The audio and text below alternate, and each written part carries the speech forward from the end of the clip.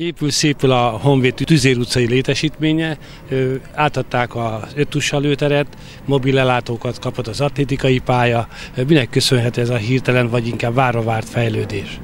Hát nem hirtelen, hanem várva várt. Ez annak köszönhető, hogy ugye 2014. januártól az öt kiemelt Budapesti Egyesület külön állami támogatásba részesült, és ennek a lehető, ezt a lehetőséget kihasználva úgy gondoltuk, hogy a létesítményeink olyan állapotban vannak, hogy, hogy azon mindenképp javítani kell, hogy, hogy úgymond európai legyen, de azt hiszem, hogy az atlétikát nézve, illetve a lőteret nézve ezt már elkezdtük, és elég jó ütembe végig tudtuk csinálni, és talán már európaivá kezd válni a környezetünk.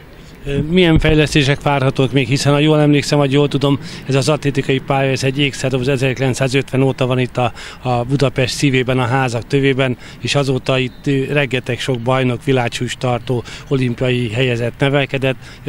Mi az, ami vonzóvá teszi a fiataloknak az, hogy ide járjanak edzésre? Hát vonzóvá, most azzal próbáljuk vonzóvá tenni, hogy olyan feltételeket, és nem csak a fiataloknak, hanem akár a szabadidős, vagy itt sportolni, kocogni vágyó szülőknek vonzóvá tenni, hogy a feltételeket olyanná tesszük, hogy érdemes legyen idejönni, hiszen nem mindegy, hogy ezen a széken ülünk, amin most ülünk, vagy azon a szálkáspadon, ami életveszélyes volt eddig és úgy látom a céltorony is be van állványozva, különböző munkagépek dolgoznak. Mi az, ami még hátra van, milyen munkálatok várhatók? Hát az uszodának egy új öltözőépülete, ami most per pillanat várható. A judo terem felújítása folyamatban van, részleges felújítása, mert hát ott, ott nagyon komoly beruházást igényelne, hogyha a Tüzér utcai létesítményt mi teljes egészében fel szeretnénk újítani, és, és hát a kézilabda csarnoknak a befejezése, illetve az Egyesület tervei között az szerepel, hogy a külső-belső részét úgy helyrehozni az épületnek, hogy az szintén szintén megfeleljen annak az elvárásnak, hogy európai feltételek és vonzó legyen a szülő, fel, szülő és a gyerek részére egyformán. Ha jól tudom, kilenc éve vagy elnöke a Honvédnak, az egyik legnépszerűbb és az egyik legeredményesebb egyesületnek. Mérlegre téve ezt az időszakot, volt-e már ilyen első fél év, ahol ennyi, ennyi minden változott, ahol ennyi minden újdonsággal számolhattatok? Nem volt még ilyen első fél éve a Honvédnak, és tulajdonképpen, tulajdonképpen az, hogy több pénz van a rendszerbe, illetve biztonságba tudunk élni, ez a gondolkodásba is jelentkezett, és én úgy gondolom, hogy egy észszerű gondolkodással egy olyan szintű honvédot lehet ismét csinálni, ami, ami vonzó lesz, amiről erről, végig erről beszélgettünk, ugye, vagy beszélgetünk, ugye, hogy mitől vonzó. Hát vonzó attól is, hogy élsportolóink vannak, és vonzó attól is, hogy a feltételeket olyan alakítjuk, amilyen, amilyenné szeretnénk.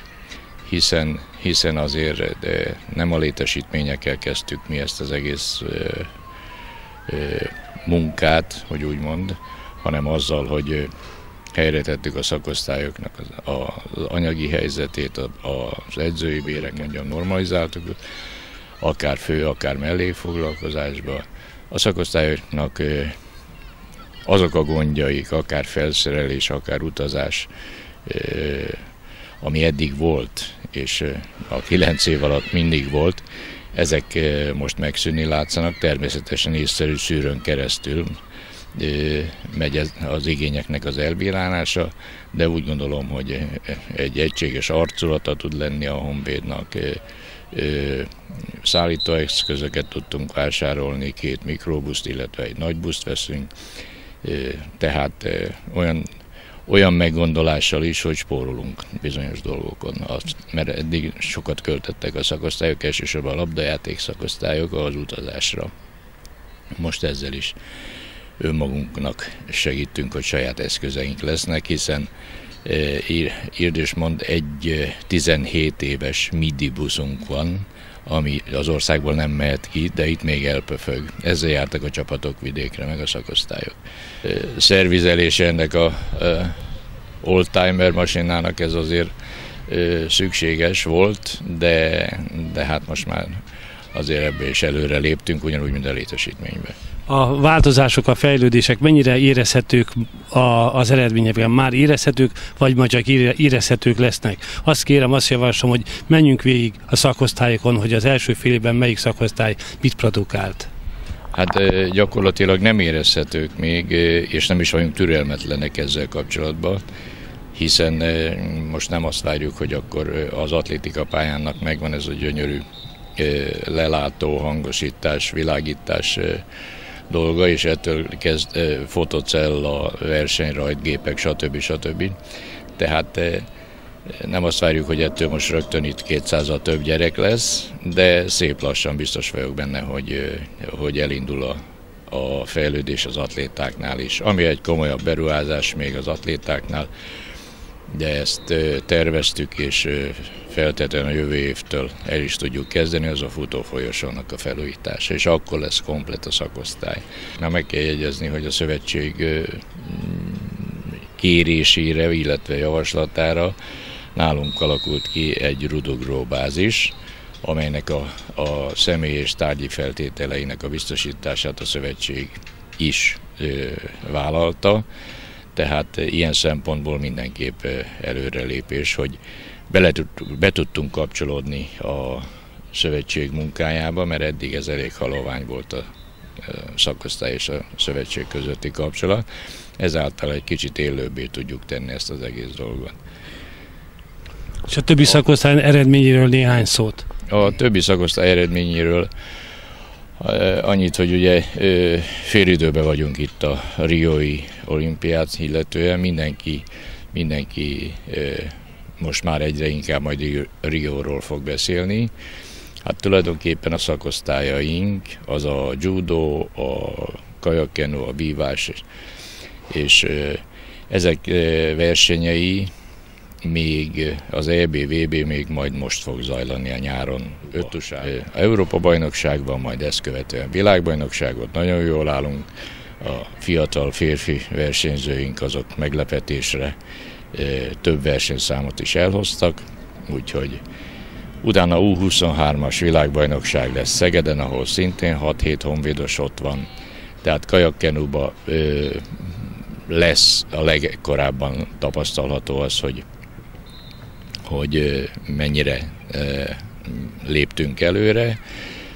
Végigmenve ötusába komoly szervezések zajlottak ahhoz, hogy utánpotlás létszám nőjön, ez mindenképp előrelépés, mert egyrészt plusz szakemberek léptek be a rendszerbe, másrészt elég komoly plusz létszámot sikerült összehozni.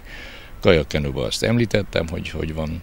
A kosárlabdába ragyogóan működik a, a Kosárlabda Akadémia, minden korosztályt lefedő rendszer, tíz csapatunk van, és teljesen abszolút az utánpótlás nevelést az teljesen korrektül végrehajtják. Kézilabdába, kézilabdába egy kicsit, hogy úgy mondjam, én úgy fogalmazom, hogy szögbe léptünk, mert tahos pénzből fel akartuk újítani, a, illetve felújítottuk a csarnokot gyönyörűen, világítás, fűt, fűtés, nyílászárók, teljesen új. Tehát egy komoly beruházás volt, mint egy 190 millió forintért amelynek az a vége, hogy most ha átmennénk, akkor azt látjuk, hogy bár még nem kezdték el, hogy a vadonatúj talaj, amit leragasztottak, az teljesen alkalmatlan játékra, felpuposodik, felhólyagosodik, és most szedik fel az egészet.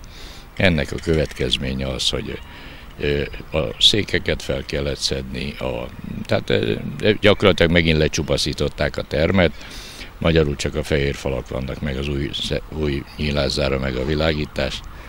Hát ez sajnos ez, erről mi nem tehetünk, ez majd a kivitelező meg a fővállalkozó elintézi egymással.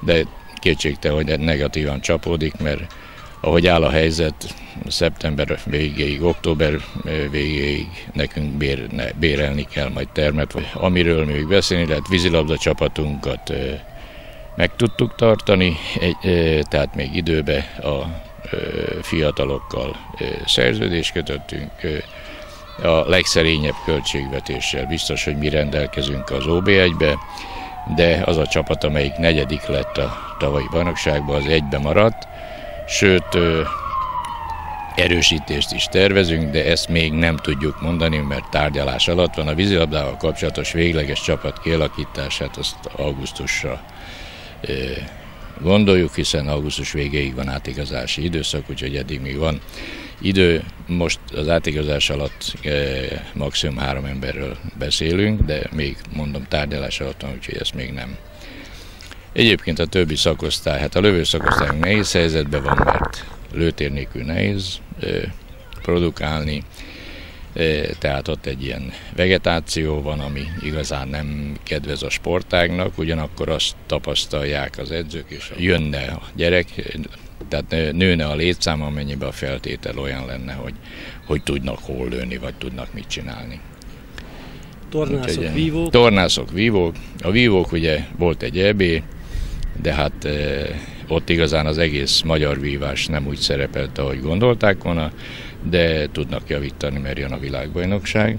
Tornászoknál pedig a kínai világbajnokságra történő felkészülés jegyébe edzőtáborok vannak gyakorlatilag, ott még nem tudom semmit, az EB-n véleményem szerint leszerepelt a válogatott, nem az kitűzött célt nem érték el, így a világbajnokságot illetően se vagyok nagyon derülátó.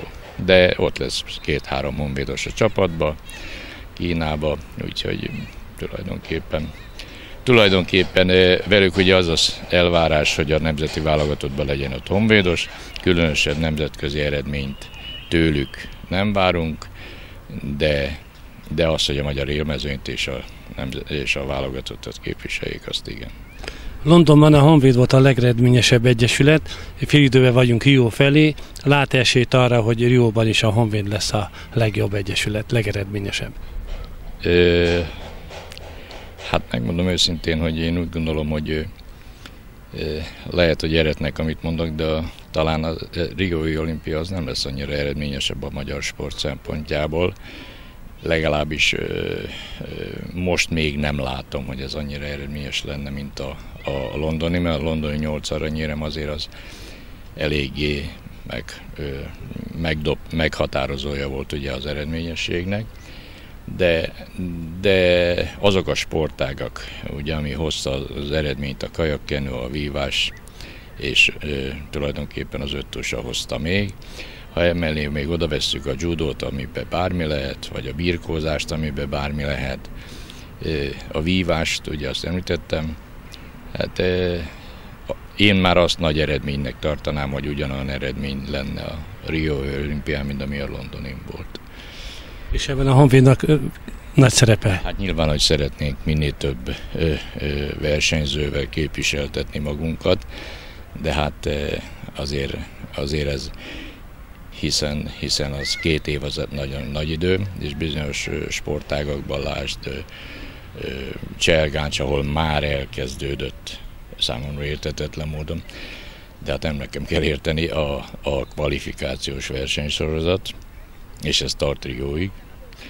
A vívásba elkezdődik az ősz folyamán, tehát tulajdonképpen ebbe a két sportágban elkezdődik egy ilyen világjárás tulajdonképpen, mert Dél-Amerikától kezdve Kanada, Shanghai, mindenhol versenyek, és hát erre utazni azért az elég tisztességes.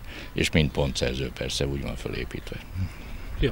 Köszönöm szépen, és hát további sok sikert a elkövetkezendő két évhez, meg hát a létesítmény fejlődéséhez és az eredményekhez is. Köszönjük szépen, hát azon leszünk, hogy minden eredményesebbek legyünk.